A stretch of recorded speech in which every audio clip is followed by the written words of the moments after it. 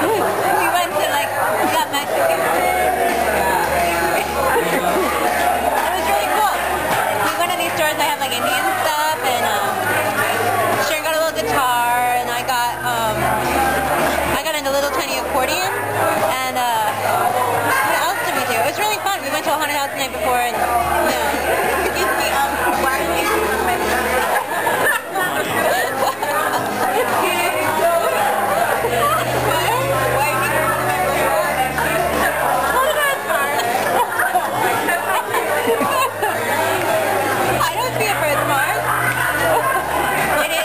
just, ow. it just.